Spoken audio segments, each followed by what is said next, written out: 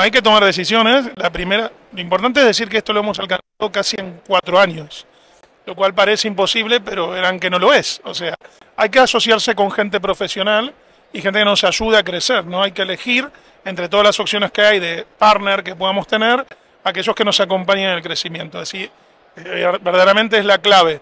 Eh, la gente que te acompaña es la clave. El foco es, en este caso, para crecer el equipo, el equipo que tienes interno, que empezamos siendo tres, ahora somos casi 50, y aparte los que te externamente te acompañan y te asesoran. Primero, hacer foco en el cliente y no tanto en el, ruido que hay alrededor.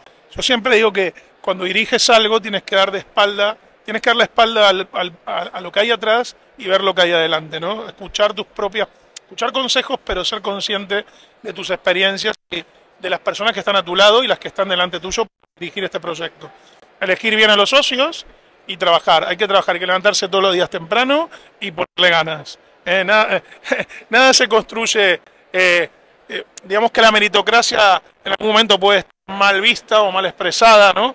Pero ser meritorios en el sentido de poner foco en lo que queremos y cada día levantarnos y aplaudir y avanzar.